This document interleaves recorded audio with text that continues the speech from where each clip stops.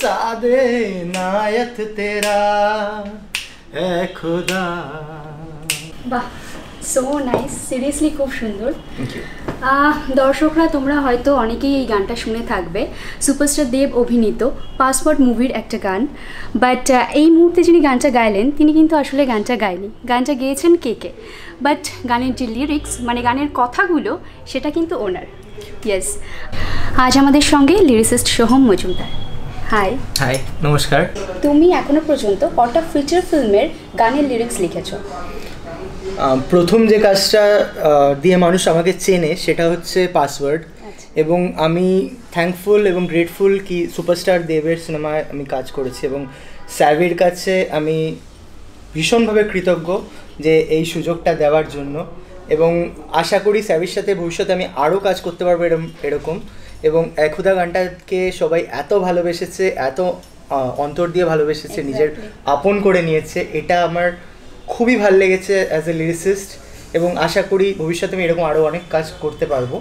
এবং এরপরে যে ছবিটা আমি কাজ করি সেটা হচ্ছে জম্বিস্তান ওটা আমাদের বাংলার প্রথম জম্বি মুভি জম্বি মানে নরখাদকদের নিয়ে মুভি এবং ভীষণ ইন্টারেস্টিং একটা ছবি। তো সেখানে মিউজিক ডিরেক্টর মেঘ ও আমায় এই সুযোগটা করে দিয়েছিল এবং অভিরূপ ঘোষের যে ছবি, সেই ছবিটায় আমি গানটা লিখি। রাজবর্মন গানটা গেয়েছিল। সতর্কবার্তা বলে গানটা আপনারা ইউটিউবে পাবেন, সতর্কবার্তা। এবং যে টাইটেল ট্র্যাক নরখাদকের টাইটেল ট্র্যাক অবভিয়াসলি নরখাদক তো ওইটাও সঞ্চিতা গানটা গিয়েছে, ভীষণ সুন্দর গান, আপনারা অবশ্যই ইউটিউবে দেখবেন, খুব ভালো লাগবে। এবং আশা করছি সবার সাথে আমি এরকমভাবেই ভালোভাবে কাজ করতে পারব। স্যাভি মেঘ সবাই এরকমই আমার সুযোগ দিক, আরও ভালো ভালো কাজ ডেলিভার করি এবং নিজেকে বারবার চ্যালেঞ্জ করি এবং নিজেকে নতুন করে ইনভেন্ট করি। আচ্ছা। আমি দর্শকদের একটা কথা বলে রাখি যে আপনারা হয়তো অনেকেই জানেন না আমাদের ফেমাস অ্যাক্ট্রেস মিমি চক্রবর্তী উনি ওনার ইন্ডিভিজুয়াল ইউটিউব চ্যানেলে যে গানগুলো এখন রিলিজ করছে সেই গানগুলোর লিরিক্স কিন্তু তুমি লিখেছ। কিছুটা। আচ্ছা। প্রথমত এখানে ফার্স্টলি যাকে আমি ভীষণভাবে থ্যাংক ইউ জানানো দরকার সেটা হচ্ছে ডাব্বুদা। অসাধারণ একজন মিউজিশিয়ান ভীষণ ভালো একজন মানুষ। এবং ডাব্বুদা আমায় এই সুযোগটা করে দেয় যেখানে মিমি চক্রবর্তীর ইউটিউব চ্যানেলের জন্য যে গান হয়েছে প্রথম অঞ্জানা এবং এখন পরি। এই দুটো গানে যত ইংলিশ পোর্শন সব আমার লেখা। আচ্ছা এবং যেহেতু এটা একটা ইন্টারন্যাশনাল ভাইব ছিল এবং ভিডিওটা পুরোপুরি শ্যুট করা হয়েছে টার্কিতে তো ভীষণ রকম একটা ইন্টারন্যাশনাল ভাইব দরকার ছিল যার জন্য ইংলিশ লিরিক্সগুলো দরকার ছিল। এবং এইটার জন্য আমার এই দিকটা সামনে এসছে সবার সামনে এসছে যে আমি হিন্দি বাংলা ইংলিশ তিনটে ভাষাতেই লিখি। মানে আমি হয়তো খুব কম সময়ে কাজ শুরু করেছি বাট আমি সব রকম এক্সপ্লোর করার নিজের জায়গা পেয়েছি। কে কে স্যার বলিউডের one of the best singers এবং পরের পর হিট গান আছে। সবাই ওনাকে ভীষণ ভালোবাসেন এবং অসম্ভব ভালো মানুষ উনি। এত ভালো মানুষ মানে প্রথমবার যখন দেখা হয়েছিল মানে আমাকে তো উনি সেভাবে চেনেনও না, কিন্তু মানে বুকে আমায় জড়িয়ে ধরে এমন নিজের করে নিলেন যেন কতদিন ধরে আমরা একে অপরকে চিনি। মানে একটা ভালো মানুষের আমার মনে হয় এটাই সব থেকে বড় পরিচয়। এবং সেখান থেকেই কে কে স্যার মানে আমার গানের সূত্রে ওনার সাথে পরিচিতি আলাপ এবং যতবার উনি এসছেন আমি গিয়ে ওনার সাথে দেখা করেছি। ভীষণ ভালোবেসেছেন আমাকে। এবং ভবিষ্যতে আশা করছি ওনার সাথে আরও কাজ করতে পারব। তো এটা হিন্দি একটা গেল। এরপরে যে পরের কাজটা এটা হচ্ছে জম্বিস্তান যেখানে আমি বাংলা কাজ করি এবং থ্রিলার জনারের কাজ করি। যেখানে সতর্কবার্তা রাজবর্মনের মতো এত সুন্দর একটা সিঙ্গার ও গানটা গিয়েছে। সঞ্চিতা আপকামিং দারুণ সিঙ্গার খুব খুবই ইন্টারেস্টিং ভয়েস এই দুটো গান আমি এখানে পাই। তো সেটা বাংলার আরেকটা মানে এক্সপ্রেশন আমার। এবং ফাইনালি যেটা ল্যাকিং ছিল সেটা হচ্ছে ইংলিশ চট করে বাংলায় বসে ইংলিশ গান লেখার কিন্তু সুযোগ পাওয়া যায় না। কিন্তু ডাব্বুদা আমায় এই সুযোগটা দেয়। ওটাও হয়ে গেছে। যেখানে গিয়ে আমি ওইখানে পুরো ইংলিশ লিরিক্স করে লিখতে পারি। তো আমার এইটুকু সময়ের মধ্যে আমি কিন্তু তিনটে ভাষাতে অলরেডি কাজ করেছি এবং সবকটা কাজই রিলিজ সবকটা কাজই আপনার বড় বড় সব প্ল্যাটফর্মে অ্যাভেলেবেল আছে এবং সবাই দেখতে পারবে সেটা ইউটিউবে গিয়ে। এটা আমার একটা খুব সুন্দর। সবাই যেভাবে গানগুলোকে ভালোবাসছে এবং সবাই ভীষণ ভালোভাবে অ্যাকসেপ্ট করেছে। এক্স্যাক্টলি এবং আরেকটা যেটা আমার মনে হয় যে এই যে আমি ডিফারেন্ট জনরাতে কাজ করেছি আজকে পাসওয়ার্ড যেটা একটা গানটা অনেকে জিজ্ঞেস করেছে যে কেন হিন্দি গান? সিচুয়েশনটা ডিমান্ড করছিল। আপনারা সিনেমা দেখে থাকলে অবশ্যই জানবেন যে ভোপাল গ্যাস ট্র্যাজেডির ওখানে গানটা হয়েছিল। যেখানে একটা হিন্দি গানের ভীষণভাবে দরকার ছিল। তো বাংলায় বসে এই গানটা যে আমি লিখতে পেরেছি এটা আমার কাছে একটা বড় খুব বড় পাওনা। অনেক প্রতিকূলতার মধ্যে দিয়ে আমি লিখেছি। সেটা অন্য কোনো সময় অবশ্যই হবে বলা হবে সেই কথাটা। এখন মেন কথাটা হ্যাঁ অনেক অনেক ডিফিকাল্টিসের মধ্যে দিয়ে গানটা লেখা হয়েছে। এবং স্যারি পাশে ছিল বলেই, এবং ও এতটাই পারফেকশনিস্ট বলেই এই গানটা কিন্তু আমি এরমভাবে লিখতে পেরেছি এবং পাসওয়ার্ডটা ডেলিভার করতে পেরেছি।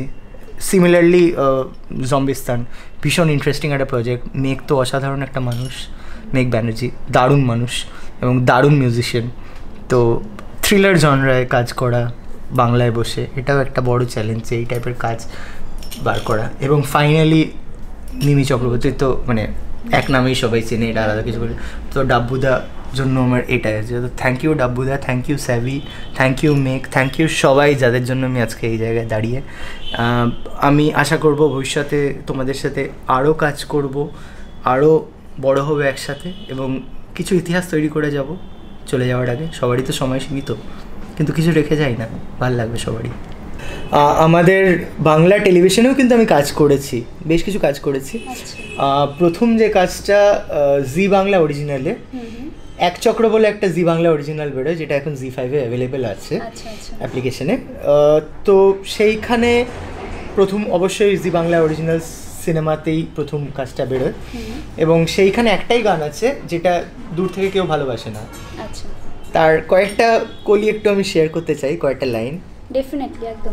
আয়নাতে এক ফালি রোদ উকি ঝুঁকি মারে অবেলায় মনের ভিতরে বড়ই বিষাদ মেলা। একটু একটু করে নামছে আধার চোখ বোঝা থাকলেই কান্না বারণ। দূর থেকে কেউ ভালোবাসে না গানটার নাম। ভীষণ মনের গান। একদম ভীষণ রিলেটেবল কিন্তু। মানে সবাই কিন্তু শুনে রিলেট করতে। হ্যাঁ। আর পরের দিকটা আরও আরও খুবই ইন্টারেস্টিং এবং মন ছুঁয়ে যাওয়ার কথা। কাটাকুটি খেলে হেরেছি আমি শূন্যতায় ভরেছে দিন। দূরে কোথাও হারিয়েছ তুমি? আমি আজ সঙ্গীহীন। অস্পষ্ট কোনো সাদা পাতায় ঘর বাঁধে আজ শুধু স্মৃতিরা। চোখ বেঁধে, চোখ বেয়ে নেমে আসে বৃষ্টি। হবে না ঘরে ফেরা। যে চলে যায় সে আসে না। ব্যথা মন তবু ভাসে না। দূর থেকে কেউ ভালোবাসে না। বাহ!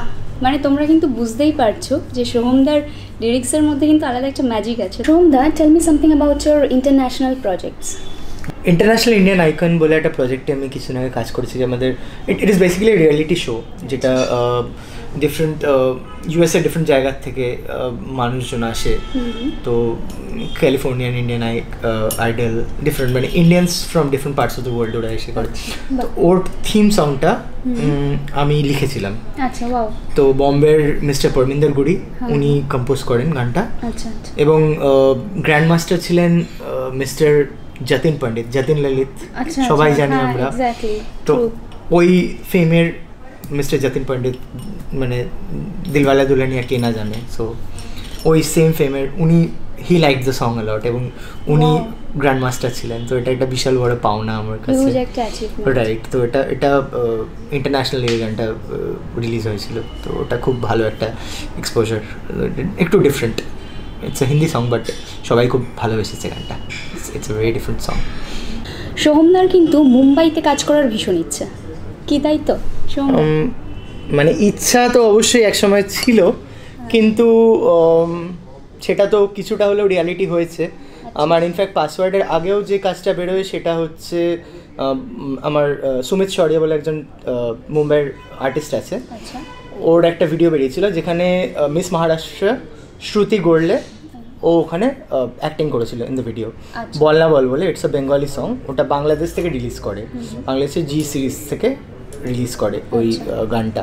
সো বম্বেতে ওই কাজটা আছে। প্লাস তাছাড়া আমাদের এখানে খুব নামকরা মিউজিক ডিরেক্টর মিমো ও ও যখের ধন আরও অনেক ভালো ভালো সিনেমা করেছে। তো সেই ওর সাথে বেশ কিছু বম্বের কাজকর্ম করার চেষ্টা হচ্ছে চলছে। তো ক্রমশ প্রকাশ্য। রজতের সাথেও বেশ কিছু কাজ করছি। ভীষণ ভালো ছেলে এরা সবাই। সবাই আমার ভাইয়ের মতো এবং খুবই ভালো লাগছে সবার সাথে কাজ করে। Each and every creative person has a history তো সোহমদা তোমার লাইফের এই যে জার্নিটা মানে অ্যাজ এ লিরিসিস্ট তোমার জার্নিটা কীভাবে শুরু হলো? জার্নি বেশ অনেকটা পিছনে আমাদের যেতে হবে।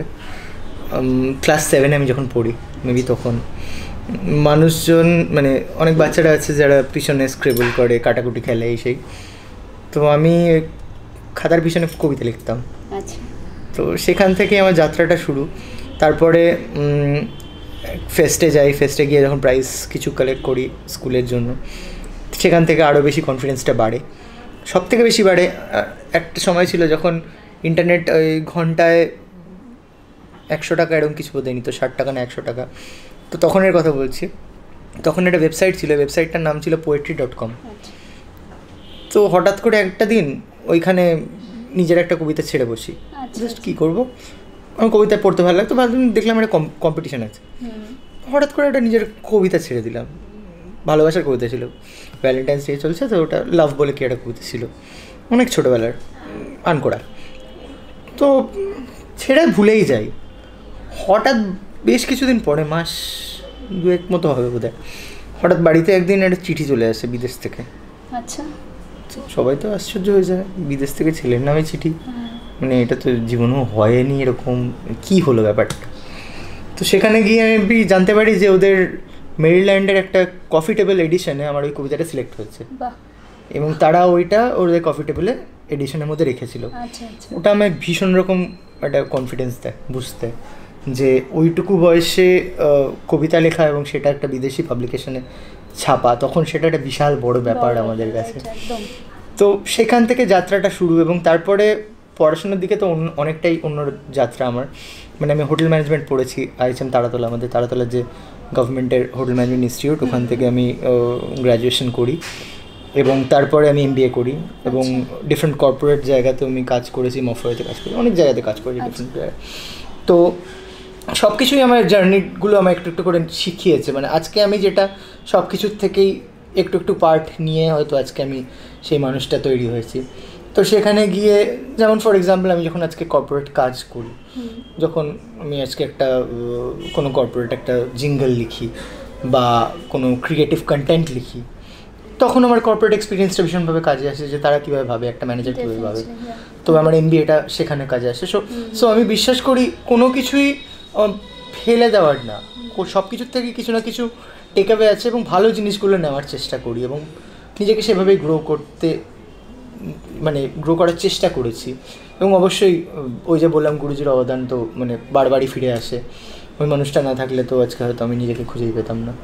তো সেখানে গিয়ে গুরুজি তারপরে আমার হাত ধরেন, উনি আমার আস্তে আস্তে, একটা গুরুর খুবই প্রয়োজন হয়। আজকে সেটা ভীষণভাবে মিস করি, বুঝতে পারি।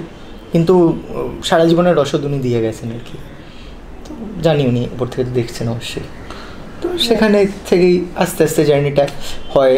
তারপরে আস্তে আস্তে ব্যান্ডে জয়েন করি ডিফারেন্ট ব্যান্ডসে বাজাই গিটার বাজাই বেস গিটার একসময় ব্যান্ডে কোনো বেস গিটারিস্ট ছিল না। তো নিজেই বেস গিটার মানে সব জায়গায় খুঁজছি কোনো কোথাও বেস গিটারিস্ট খুঁজে পাচ্ছি না। মানে তখন মানুষজন ওই চুল ঝাঁকাবো সামনে এসে মেয়েদের ইমপ্রেস করব। ওই ব্যাপারটাই সবার মধ্যে ছিল। এই পিছনে যে একটা বেস গিটার বাজছে কী ডুংডুং করে বাজছে মানে বুঝতেই পারছি না শুনতেই পাচ্ছি না জানিই না যে কী হচ্ছে। তো কনসেপ্টটাই অতটা ক্লিয়ার ছিল না। তো মানুষ তখন চাইতো না। সবাই ওই লিড গিটারই বাজাচ্ছে। তো ভালো বেস গিটারিস্ট খুঁজে পাচ্ছি না। অনেক আমি নিজেই ইনস্ট্রুমেন্টটা তুলে নিই। আচ্ছা। ভুল করতে করতে করতে করতে শিখি। তারপরে প্রচুর জায়গায় বাজাই আস্তে আস্তে আস্তে আস্তে। তারপরে আস্তে আস্তে সেইটার এই মিউজিক্যাল ইনপুটগুলোর সাথে লিঙ্কড আপ হয়ে গিয়ে পোয়েট থেকে আস্তে আস্তে মানে একটা গীতিকারের যে ফর্ম্যাটটা সেই ফর্ম্যাটে আমি আসতে শুরু করি। গান শুনি প্রচুর একটা মানুষ কীভাবে এক্সপ্রেস করছে কীভাবে এ করছে। এবং একটা জিনিস যেটা ঠাকুরের কৃপায় ভীষণভাবে হয়েছে যেটা হচ্ছে আমার কোনো সময় ঠিক করে গান মানে হয় না। মানে আচ্ছা। হঠাৎ হঠাৎ মানে ঠাকুরের আশীর্বাদের মতো গান চলে আসে। এবং তেনারই ইচ্ছা ঘটান আমার মধ্যে দিয়েই যায়। মানে maybe I'm just the selected one বাস এইটুকুই এইভাবে আস্তে আস্তে। মানে জার্নিটা জার্নি সো ফার বলব আমি মানে জার্নি তো অনেকটাই বাকি আছে এখন।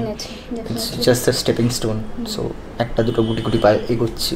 দর্শকদের একটা কথা বলতে চাই যে সোহমদা কিন্তু একটা নতুন জিনিস ইনভেন্ট করেছে। মানে ইনস্ট্যান্ট ইনস্ট্যান্ট লিরিক্স. এটা নতুন একটা কনসেপ্ট বেসিক্যালি কনসেপ্ট আমি কীভাবে বোঝাবো? যেমন আজকে আমার খিদে পেল। আমি গেলাম একটা পিৎজা কাউন্টারে গেলাম। আমি পিৎজাটা কি বলব? আমি বলব আমার এই টপিক্স চাই আমার এই বেস চাই। অ্যান্ড অ্যাকর্ডিংলি আমার কাছে পনেরো মিনিট কুড়ি মিনিট পর একটা পিৎজা চলে আসে। সো এরকম কিছু কেন হতে পারে না লিরিক্সের ক্ষেত্রেও? যে আমার রিকোয়ারমেন্টটা আমাকে কেউ বলে দিল বা একটা ডিরেক্টর এলো বা যেই হলো এসে বলে দিল যে আমার গানটা ফোক লাগবে বা আমার গানটা একটা থ্রি ফোর ছন্দে একটা ওয়ার্ল্ডসের গান লাগবে। বা আমার একটা রোম্যান্টিক সিচুয়েশন লাগবে, একটা ডুয়েট লাগবে যেটা যা খুশি whatever be the parameter এবং based on that system exist wherein যে ভালো ফোক লিখতে পারে, সে ফোকের ইয়েতে থাকবে, যে কন্টেম্পোরারি ভালো লিখতে পারে, সে কন্টেম্পোরারি থাকবে। সবাই অনেকে একসাথে মিলে একটা ফ্যামিলি হিসেবে কাজ করাটা খুব ইম্পর্টেন্ট তো এই ফ্যামিলির যে প্রথাটা বা সিস্টেমটা সেইটা তৈরি করা, যেখানে আলটিমেটলি যার গানটা রিকোয়ারমেন্টটা আছে সে একটা টার্ন অ্যারাউন্ড টাইম পেয়ে গেল তিন দিন কি পাঁচ দিন হোয়াট এভার এবং তারপরে সে এসে গানটা ফাইনাল নিয়ে চলে গেল। এটা এটা পুরোটাই একটা খুব ভাবনার স্টেজে আছে। অ্যান্ড এই জন্য ইনস্ট্যান্ট লিরিক্স বিকজ যেহেতু আমি ঠাকুরের কৃপায় বাই গডস গ্রেস মিউজিকের থেকে মানে যদি কোনো সুর সুর আমি শুনি কিছু কথা মাথায় আসে। সিমিলারলি কিছু কথা থাকলে কিছু একটা মিটার মাথায় আসে। এই পুরো ব্যাপারটা যেহেতু হয় তো অনেকেই আমার বলে আরে তুই তো ইনস্ট্যান্টলি কাজটা করছিস। সেখান থেকেই আমার আস্তে আস্তে আস্তে আস্তে মাথাতে এই জিনিসটা আসে এবং ইনস্ট্যান্ট লিরিক্স যে জিনিস যে কনসেপ্টটা এটা আস্তে আস্তে ডেভেলপ করতে শুরু করি। আমার ফেসবুক পেজও আছে ইনস্ট্যান্ট লিরিক্স ওখানে এইটার ব্যাপারে সেভাবে না থাকলে আমার কাজ প্রচুর ওখানে আছে। আচ্ছা। Plus lyricist Soham Majumdar. um, um, বা ইনস্টা লিরিসিস্ট সোহম মজুমদার যে ফেসবুক পেজ ওখানে আমায় ফলো করতে পারেন। ওখানে আমার কাজ অনেক অনেকই আছে যে কটা সিনেমার কাজ বেরিয়েছে বা যা যা করেছি সব কিছুই ওখানে আছে। এবং তাছাড়া ইনস্টাগ্রামে লিরিক সোহম হিসেবে আমি আছি। তো আচ্ছা। কিছু জায়গা যেখানে আমার কাজগুলো খুঁজে পাওয়া যাবে। এছাড়া ডিফারেন্ট প্ল্যাটফর্মস লাইক মেরাকি তারপরে ওয়াইকিউ বাবা যেখানে পোয়েট্রি যে পোয়েটরা যেখানে নিজেদের কাজ দেয় সেখানেও আমি আমার কাজ কিছু রাখি এবং সেখানে কিছু স্যাম্পল কাজ আমার পে পাওয়া গেলেও যেতে পারে। আচ্ছা। প্লাস যা যা বেরিয়েছে বা যেগুলো পেপারে বেরিয়েছে সেগুলো তো অবশ্যই সবাই জানে। তো যারা আমার ব্যাপারে জানতে ইচ্ছুক বা আমাকে আরও ভালোভাবে চিনতে ইচ্ছুক তাদের জন্য এই কিছু তথ্য আমি শেয়ার হ্যাঁ। করলাম যেখানে আমার কিছু ঝলক পাওয়া যাবে। অ্যান্ড ডেফিনেটলি তার জন্য সবাইকে ফলো করতে হবে। হ্যাঁ। ফলো এক্স্যাক্টলি পেজটা lyric lyricist Soham Majumdar. L Y R I C I S T lyricist Soham S O H A M Majumdar. M A J U M D A R এই নামে আমার Facebook page আছে। Um, এমনি Facebook profile তো আছেই কিন্তু অর্ধেক সময়টা ভর্তি থাকে সো পেজটা ফলো করাটাই বেটার সেকেন্ড প্রোফাইলটা খুব একটা আমি অ্যাক্সেস করি না। তো কর্পোরেট কাজের মধ্যে কিছু কাজ যেমন ভি গার্ড বলে একটা খুব নামকরা ব্র্যান্ড আছে, ওদের জন্য পুজোর একটা গানে আমি এখানে আরেকজনের নাম বলা খুব ইম্পর্ট্যান্ট সুপ্রতীক দা।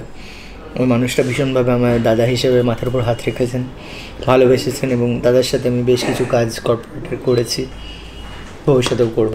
ওনার একটা দারুণ প্ল্যাটফর্ম আছে Alive India owner he is the man with the mission so Alive ইন্ডিয়ার পেজে অ্যালাইভ ইন্ডিয়ার চ্যানেলে মানে অসাধারণ মানুষ, একসাথে ছাব্বিশটা ভাষায় গান, একই গান মানে ছাব্বিশটা ভাষায় ইন্টারপ্রেট করে ওটাকে বার করা মানে ম্যাসিভ মানে এটা ওরকম একটা মানুষ পারে।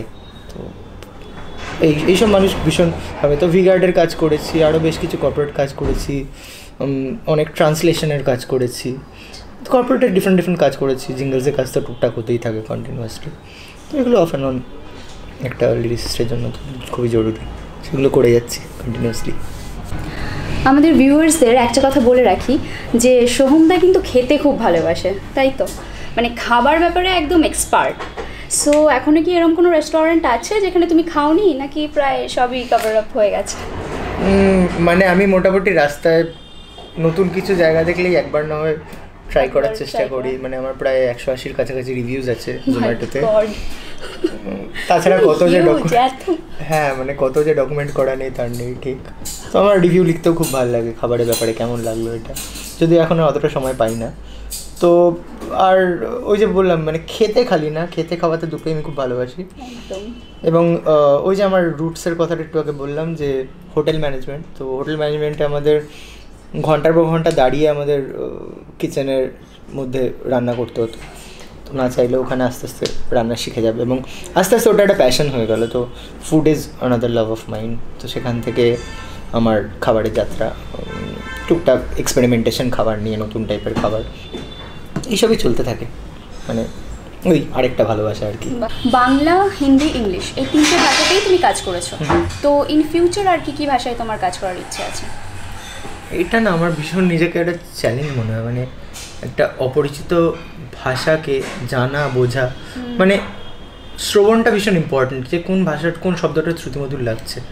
মানে আজকে গুগল ট্রান্সলেট করে একটা লাইন পাওয়া যায় সেটার শুনে শুনে এরকমভাবে আমি যখন স্প্যানিশ ওই ক্লাবে মন্ত্রা গুরুজির যে ব্যান্ডটা আমি বাজাতাম তখন এরকম চেষ্টা করে করে একটা দুটো গান লিখে ফেলেছিলাম। গুরুজির ভালোও লেগেছিলো যে বা খুব সুন্দর। লিখেছিস। আমি প্রচুর গান শুনতাম স্প্যানিশ তখন।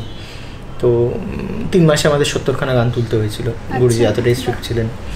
বাজতাম বাজাতাম তখন সেগুলো তো সেইখানে গিয়ে তখন সেরকম তারপরে এখন যেমন প্রচুর পাঞ্জাবি গান যেমন বাদশা টাইপের যে লিরিকটা ওটার চেষ্টা করি শুনে শুনে যতটা নিজের ইমপ্লিমেন্ট করা যায়। ওটার কিছু ওই টাইপের কিছু ভেরিয়েশন তো so এটা একটা অনগোয়িং প্রসেস মানে ইটস লাইক লার্নিং এভরিডে এবং সেটাকে অ্যাপ্লাই করা। ওটারই একটা প্রতিফলন বলা যায়। আচ্ছা। সেটাই নতুন ভাষা। আচ্ছা প্রত্যেকটা মানুষের জীবনেই একজন আইকন বা গুরু থাকে মানে যাকে তারা ফলো করে। তো তোমার লাইফেও কি এরকম কেউ আছে? আছে মানে বেশ কজন আছে। আচ্ছা হ্যাঁ। মানে প্রথমত গুরু শব্দটা যেটা বললাম আমার গুরুজি তো আছেনই। হ্যাঁ। মনোজিৎ দত্ত ওনার ব্যাপারে তো আমি অনেকবার যতবারই যাই বলি ওটা কম পড়ে যায়। সুতরাং ওটা আমি বলে আমি জানি না কি বলব। মানে বলার শব্দ সত্যিই পাই না উনি আমার। মানে আমি যা উনি তাই মানে উনি আজকে আমার এই জায়গায় তৈরি করেছেন এবং ওনার অবদান তো অসীমের থেকেও বেশি। এছাড়া আরও দুজন ব্যক্তির সাথে আমার জীবনে দেখা হয়েছিল, যে দুজন ব্যক্তি আমাকে একটু একটু করে মানে চিনতে শিখেছি, শিখিয়েছিল নিজে। একজন তার মধ্যে হচ্ছে আমাদের খুবই নামকরা বেস প্লেয়ার উনি পৃথিবীর শ্রেষ্ঠ বেস প্লেয়ারদের মধ্যে একজন, ওনার নাম হচ্ছে ভিক্টর বুটেন আচ্ছা। তো ওনার সাথে আমার দু হাজার দশে কলকাতায় দেখা হয়। মানুষটা এইটা বুঝতে মানে দুটো জিনিস খুব ইম্পর্টেন্ট শিখিয়েছিল। যে দুটো জিনিস আমি আজকেও নিজের সাথে নিয়ে ঘুরি। প্রথম কথা, উনি একটা অত বড় মানুষ হয়ে এসে বলেছিলেন যে, আমি কিছু মশলা নিয়ে এসেছি। তোমার রান্নায় যদি এই মশলাগুলো লাগে, তাহলে তুমি ব্যবহার করো নালে করো না। কোনো জোরজার নেই যে, আমি যা শেখাচ্ছি সেটাই শিখতে হবে। এটা আমার যে টেক ছিল, প্রথম দুটো জিনিস, একটা হচ্ছে যে, উনি বলেছিলেন যে যে কোনো কালো কির দুপাশে দুটো সাদা কি থাকে। মানে যে কোনো ভুল নোটের দু সাইডে দুটো রাইট নোট আছে। তো ভুলটায় থেমে থেকো না মানে ভুল থেকে মানে ঠিকের যে যাত্রাটা ওটাই বেশি important the journey towards being right that is more important don't stay stuck in the wrong note zone basically so that's that's important একটা। সেকেন্ড একটা জিনিস যেটা শিখেছিল যে আজকে আমি ওনাকে বলেছিলাম যে আপনাকে আমার খুব ভালো লাগে I idealize you I want to be like you উনি বলেছিলেন যে it's very good that you want to be like me কিন্তু আই উড সে কি তুমি তোমার মতো হও।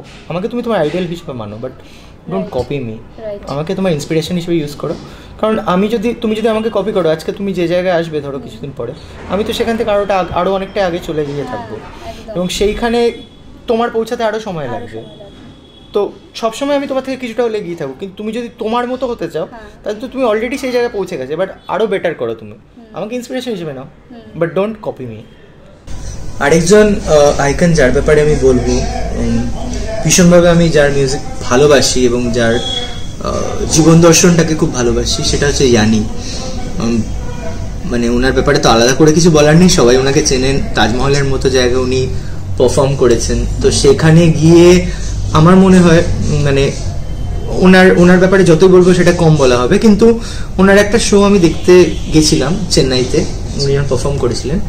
তো চেন্নাইতে ওনার ওই শোটায় আমি এটা জানতে পেরেছি যে একটা, অতগুলো মানুষ কি করে একটাই ভাষা বলে মানে একটাই মিউজিকের ভাষা বলে এবং একটাই ল্যাঙ্গুয়েজে বলে এবং এটাও ইম্পর্টেন্ট যে একটা বলার থেকে না বলা মানে চুপ করে থাকবে কখন? যে সবকটা মিউজিক ইনস্ট্রুমেন্ট একসাথে বাজবে না, আস্তে আস্তে কীভাবে ডেভেলপ করবে? এটা ডায়লগ কি করে তৈরি হবে? এই জিনিসগুলো আমার ওনার কাছ থেকে শেখা। এবং ওনার জীবন দর্শন সবাইকে ভালোবাসা মিউজিকের মধ্যে দিয়ে। ভালো মানুষ হওয়া, এগুলো ভীষণভাবে আমার ইয়ানির থেকে শেখা। এই মানুষগুলো ভীষণভাবে আমার তিলে তিলে একটু একটু করে তৈরি করেছে।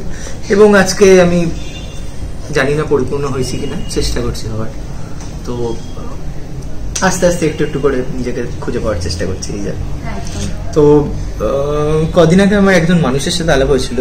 এটা আমার মনে হয় বলা খুবই জরুরি বিকজ আমার পরের যাত্রায় এই মানুষ মানে আমি দাদা বলি ওনাকে। উনি খুব শিগগিরই বলিউডে বিশাল বড় একটা ওনার কাজ কে কে স্যারেরই কাজ উনি করেছেন। সারাক টুতে উনি মিউজিক করেছেন। সমিত দা। আচ্ছা। আচ্ছা। সমিত মুখার্জি অসাধারণ একজন মানুষ। কিছুদিন আমার আগে আমার ওনার সাথে আলাপ হয়েছিল। তো মানুষটা একটা জিনিস আমায় শেখালেন একটা দারুণ কথা বলেছিলেন। আজকে আমি সবার সাথে সেটা শেয়ার করতে চাই। যে কীভাবে সিকার হওয়া যায় মানে খুঁজে পাবে কীভাবে? মানে তুমি তোমার যাত্রায় চলে যাও। তুমি তুমি যেটা খুঁজছো সেটা সেটার দিকে চলে যাও। দেখবে পিছনে তোমার মতো আরও অনেক মানুষ সাথে যাচ্ছে। তারা তোমার জার্নির মধ্যেও তাদের জার্নি খুঁজে পাবে। তারপর হঠাৎ দেখবে অনেকজন তোমার সাথে যাচ্ছে। তুমি কিন্তু তোমাকে খুঁজছো তুমি কিন্তু ওদেরকে তৈরি করার জন্য যাওনি। তুমি সিকার তো আমি সেইখান থেকে আমি নিজে সিকার হওয়ার চেষ্টা করছি। সত্যি খুব ভ্যালুয়েবল একটা কথা। হ্যাঁ ওটা সমিতদার কাছ থেকে আমার শিক্ষা। তো থ্যাংক ইউ সমিতদা আমাকে এই শিক্ষাটা দেওয়ার জন্য। আশা করছি খুব শিগগিরই দেখা হবে। আর উর্বিদি তাড়াতাড়ি সুস্থ হয়ে যাক। দিদির শরীর খারাপ জানি আমি। সো আমার ওয়াইফ সাগরিকা ভীষণভাবে সাপোর্ট করে গেছে এবং ওর জন্য আজকে এই জায়গায় আমি দাঁড়িয়ে আছি। তো সবাই ভীষণভাবে এই যে এই কাজটা বললাম দূর থেকে কেউ ভালোবাসে না এটা কুন্তল আমায় এই সুযোগটা করে দিয়েছে। আচ্ছা আচ্ছা। ভীষণ ভালো ছেলে ভীষণই লোকই থাকে নিজেকে অতটা কারোর সামনে আনে না কিন্তু অসম্ভব ভালো ছেলে যে সবাই ওকে ভীষণ ভালোবাসে সবাই ওকে ভীষণ আপন করে নেয় সবাইকে ও ভীষণ আপন করে নেয়। তো প্রথম কাজটা এটা হয়েছে। ইভেন সামনে তুই আমার হিরো বলে আরেকটা আসছে যেটা আবার একটা ইজি অরিজিনাল আসছে ওখানে দুটো গান আমি লিখেছি। আচ্ছা। তো চলছে যাত্রা চলছে সব কজন এবং আরেকজন এই ম্যাজিকের জন্য ভীষণভাবে আমার যাকে খুব মনে পড়ে আজকে আমার গুরুজি। ওনাকে আমি বাবা বলে ডাকতাম। ওনার নাম হচ্ছে মনোজিৎ দত্ত। তো উনি ল্যাটিন মিউজিকটা আমাদের ইন্ডিয়ায় আনেন এবং বন্ধু শুনতে পাচ্ছ যে গানটা? ওটা ওনার প্রথম মানে ওনাকে সবাই চিনতে পারে ওই গানটা নিয়ে। ওরিয়েন্ট এক্সপ্রেস বলে ব্যান্ড ছিল। ওনার আরেকটা ব্যান্ড ছিল ক্লাবে মান্ত্রা। অনেকে জানে না আমি বেস গিটার বাজাতাম এবং এখনও বাজাই মাঝে মাঝে। আচ্ছা আচ্ছা। তবে এখন অতটা সময় পাই না। কিন্তু একটা ইনস্ট্রুমেন্ট বাজানো তো খুব জরুরি। এই যে বলছিলাম আমি লিরিসিস্টের কী কী রিকোয়ারমেন্ট আমার মনে হয় অ্যাটলিস্ট গিটার বা কোনো একটা ইনস্ট্রুমেন্ট যদি বাজায় আরও ভালোভাবে পরিচিতিটা হতে পারে। যে আইস ব্রেকিংটা ইনস্ট্রুমেন্টের সাথে, এটা খুব ইম্পর্ট্যান্ট তো সেখানে গিয়ে গুরুজির যে ব্যান্ড ক্লাবের মাত্রা ওটা আমি বেস গিটার বাজাতাম। এছাড়া অনেক প্রজেক্টে আমি অনেক ফোক প্রজেক্টে বাজিয়েছি রাজস্থানের কাফিলা বলে একটা ব্যান্ড আছে, ওদের সাথে বাজিয়েছি। ঘরানা ফিউশন বলে একটা প্রজেক্ট আছে ইনস্ট্রুমেন্টাল ফিউশন প্রজেক্ট ওখানে কর্ণধার হচ্ছে সুস্নাত হার। তো, ও আমার ভাইয়ের মতো, এবং ওই প্রজেক্টে আমি বেশ পাইছি তো ওখানে ওদের সাথে আমি আছি, ওদের যত গান, সব গানই আমার লেখা এবং ওয়ার্ল্ড মিউজিক ওটা। নিজেকে ডিফারেন্টভাবে এক্সপ্রেস করার চেষ্টা করি এবং গুরুজির কথা বলছিলাম, গুরুজি হয়তো আজকে নেই। ভীষণভাবে আমার গুরুজিকে মনে পড়ে মানে বাবা বলতাম ওনাকে মনোজিৎ দত্ত, এই কাছেই থাকেন উনি। তো প্রত্যেক দিন ওনাকে ফিল করতে পারি মানে মনে হয় আজকে উনি থাকলে ভীষণ মানে প্রাউড ফিল করতেন উনি, আমি জানি। এবং হয়তো কেঁদেও ফেলতেন উনি। তো সেই জায়গায় দাঁড়িয়ে গুরুজিকে এটুকুই বলতে চাই যেখানে থাকবে খুব ভালো থেকো। আমি সত্যি ভীষণ মিস করি খুব ভালোবাসি। তো এই এই কয়েকজন এই ম্যাজিকটার জন্য ভীষণ ভীষণই ইম্পর্ট্যান্ট আর আমি বিশ্বাস করি অনেস্টলি মন থেকে কোনো কাজ করলে সেটা আরেকজনের মন অবশ্যই ছুঁয়ে যাবে। তো একজন ভালো লিরিসিস্ট হতে গেলে তোমার কি মনে হয় কি কি গুণ থাকা উচিত? যদিও পুরোটাই ব্যক্তিগত তাও আমার কিছু কথা বলা আমার মনে হয় যেগুলো মানে আমি যেগুলোকে ফলো করে যে পন্থাগুলো ফলো করে আমি এগিয়েছি। সেখানে প্রথমত যেটা একটা লিরিসিস্টের আমি বিশ্বাস করি একটা অ্যাক্টার যেমন অ্যাক্টিং করে একটা এক্সপ্রেশন দেয় ক্যামেরার সামনে একটা সিঙ্গার যেমন গলায় সেই জিনিসটা ফুটিয়ে তোলে সিমিলারলি একটা লিরিসিস্টও তার লেখার মধ্যে দিয়ে ওই সেম এক্সপ্রেশনটা দেয়। তো আমরা সবাই কিন্তু একই কাজ করছি যে কজন আর্টিস্ট সবাই কিন্তু একই কাজ করছে। তো সেই জন্য একটা লিরিসিস্টের প্রথমত সব কিছুর অল্প বিস্তর নলেজ জ্ঞানটা খুব জরুরি প্রথম কথা। হ্যাঁ। সেকেন্ড কথা হচ্ছে তার একটু সুরের আইডিয়া হওয়া উচিত।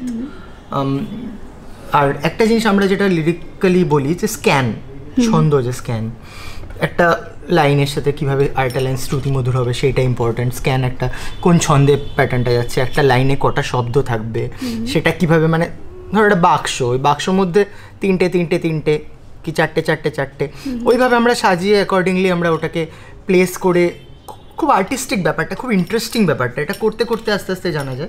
এবং অবশ্যই শব্দ চয়ন খুব ইম্পর্টেন্ট সেই জন্য নতুন গান শোনা সেখানে যদি কোনো নতুন এক্সপ্রেশন পাওয়া যায় বা সেখানে যদি কোনো নতুন শব্দ পাওয়া যায় যেমন আমি পার্সোনালি ভীষণ উর্দু শব্দ পছন্দ করি। আচ্ছা। ফর এক্সাম্পল খানা বাদোশি একটা শব্দ যেটা ওয়ান্ডারলাস্ট বা আমাদের যারা ভ্যাগাবন্ড ওদের সাথে ভীষণভাবে রিলেট করে। তো খোয়াব ফরোশি খানা বাদোশি এই টাইপের অমিতাভ স্যার যে শব্দগুলো খুবই ব্যবহার করেন। তো এইগুলোকে নিয়ে চর্চা করা আজকে গালিয়া ইয়ে কুচে উম্মিদ সেলম্বে এই যে শব্দ চয়ন গুলজারজির এই ব্যাপারগুলো ভীষণ ইন্টারেস্টিং একটা এই জানার খিদেটা বোঝার খিদেটা সেটা অ্যাপ্লাই করার খিদেটা এটা ভীষণ ইম্পর্টেন্ট এবং নিজের মতো করে এটাকে ফলো করার মানে সেখান থেকে নির্যাসটাকে নিয়ে তার মধ্যে নিজের নিজেকে ঢেলে দিয়ে সুন্দর একটা মিশ্রণ সবাইকে মানে প্রেজেন্ট করা আমি বিশ্বাস করি একটা লিরিসিস্টের জন্য এটা খুবই ইম্পর্টেন্ট সেভাবে দেখতে গেলে। বাহ খুব সুন্দর একদম বোঝালে পুরো ব্যাপারটা।